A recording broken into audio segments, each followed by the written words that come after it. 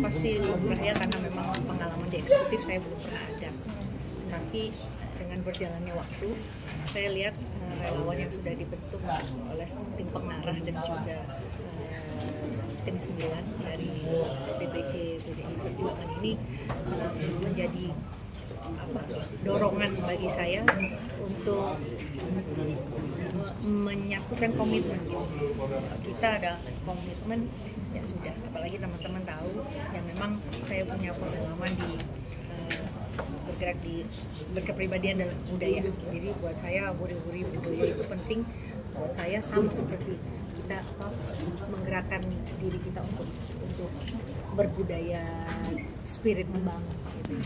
nah ada komplain dari beberapa fungsionaris senior kami jangan sampai saya ke sana punya nggak ada. Nah ini kan asum, eh, bukan asumsi, boleh, boleh sangat boleh bertendensi seperti itu karena memang kenyataannya ada ya pada daerah yang seperti itu. Jadi saya mau doa restu dan semoga saya bisa menjadi kepala daerah yang mumpuni, mumpuni, mumpuni. Saya ingin sampaikan yang mumpuni. Mi, nih mau nanya nih program utamanya ini apa sih Mi kalau mau jadi wali kota?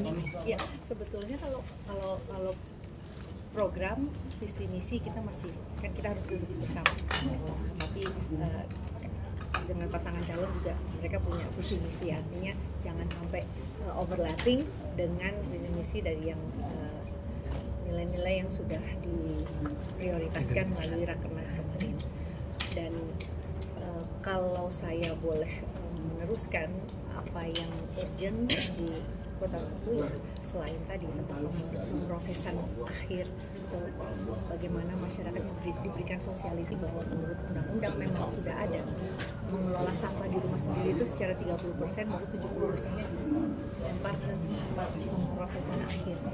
Sosialisasinya yang penting adalah edukasi dan kemauan masyarakatnya sendiri untuk menjaga lingkungannya. Saya percaya itu sangat kerukunan dan sangat uh, kekerabatan saya pikir bila kepala daerahnya memiliki uh, kemauan untuk menjadi role model saya pikir semuanya akan tergerak Mi, ini kan ini kan pencalonan Mi, balik akan jadi ke entertain ya Mi? Salah satunya itu.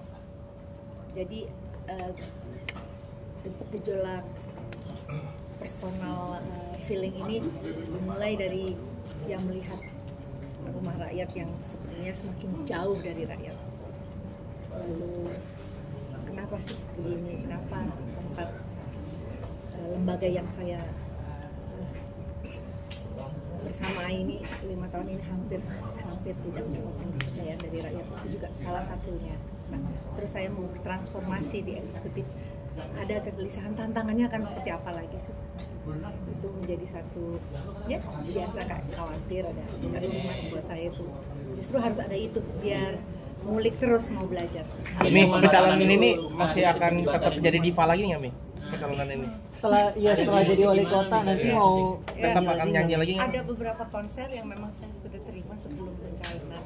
Jadi saya juga diharapkan untuk profesional untuk bisa menyelesaikan, tapi saya juga mengatur sub-sub kerja saya supaya bisa uh, lebih apa ya efisien kerjanya tanpa harus meninggalkan uh, keutamaannya. Tapi kalau memang dilihat apakah ini kan kalau misalkan tadi ada yang tanya kenifaannya kalau masalah titel itu kan udah nempel ya kan jadi saya pikir nggak ada mantan politisi nggak ada mantan penyanyi jadi ya dia akan menempel terus mutlak bersama dengan karir ya. jadi ya uh, tidak mungkin kan nanti bikin uh, pagelaran musik atau kota literasi atau kota jazz di kota Batu. Jadi akan berfokus atau gimana? Anak-anak masih mau di sini, katanya uh, murah. Nanti siapa yang jaga rumah kan? Mi ada pesan dari Megawati nggak sih Mi soal pencalonan Mimi jadi wali kota? Pesan ada dari Megawati? Sudah dapat rekom berarti ya? Ya, ibu pesan katanya saya jangan kurus-kurus. Aku terima suami. Oke, siap. Harus di, ya, harus dibatasi itulah uh, komitmen kita ya kalau kita sudah memulai dengan satu tujuan kita pasti punya konsep yang harus direalisasikan yaitu bagaimana tugas-tugas kita ini bisa turun bisa meng, apa, mengadaptasikan semua permasalahan yang ada di tengah masyarakat.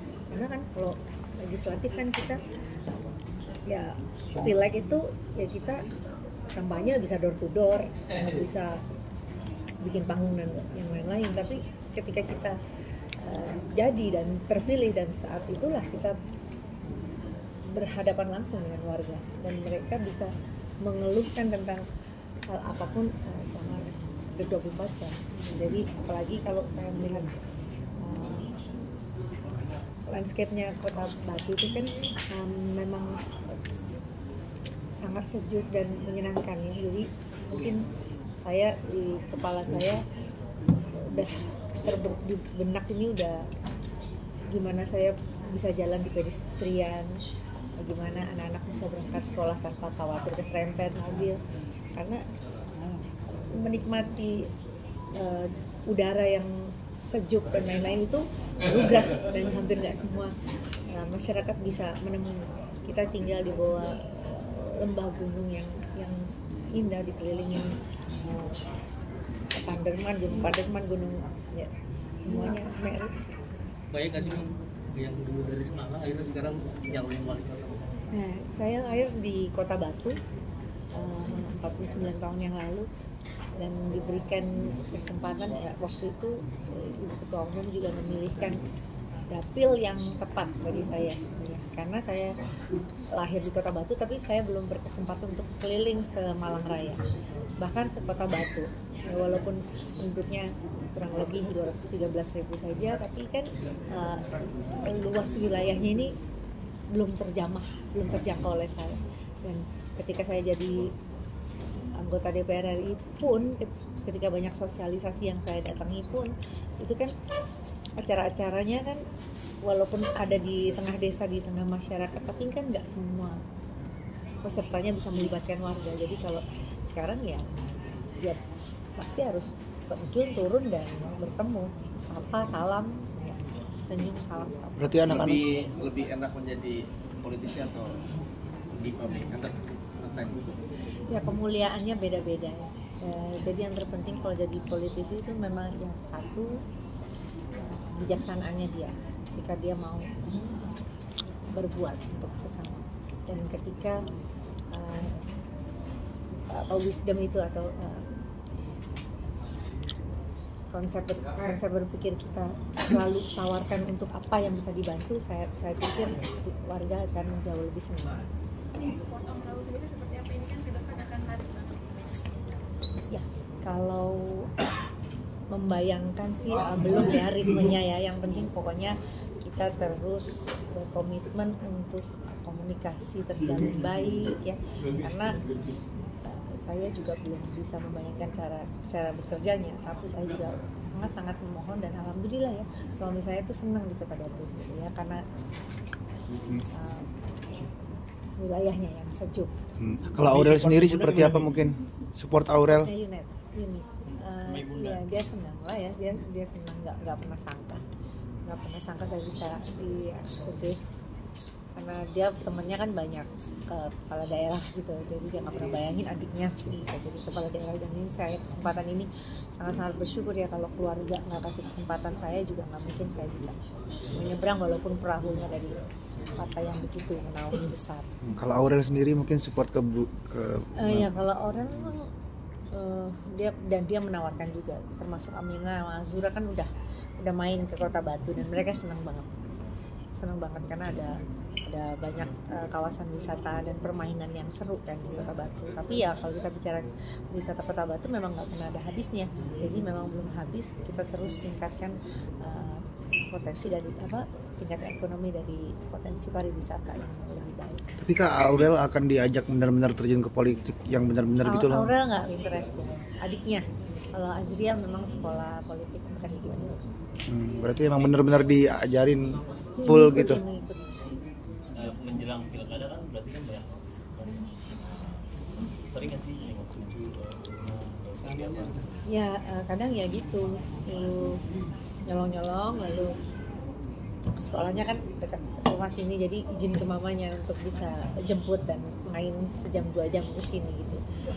Dan Azura kan juga senang berenang. Jadi uh, ada aja lah ya caranya namanya juga nenek-nenek Mi, eh, tadi sempat kayak ada keraguan gitu masalah finansial kah mengenai nanti kampanye lagi untuk kedua kalinya. Salah itu salah satunya itu seperti apa sih Mi? ya kalau logistik pasti ya kita harus lahir batin siapkan dan kita gotong royong ya kalau logistik Eh, lebih kepada itu aja em, gejolak eh, personal aja Berarti nggak ada soal masalah ada, finansial. nggak ada, nggak ada. Oke, Ini sayang ya. terakhir mungkin terakhir ke- kemarin pas mengenai RUU pilkada yang eh, dibatalkan kemarin mungkin respon Mimi seperti apa? Hmm, iya kalau sikap dari PDI Perjuangan sekali lagi kita merespon uh, Mahkamah Konstitusi sesuai uh, Undang-Undang Nomor 60 dan 70 udah itu aja setahu saya ya sikap Oke, makasih. Terima Mami. kasih.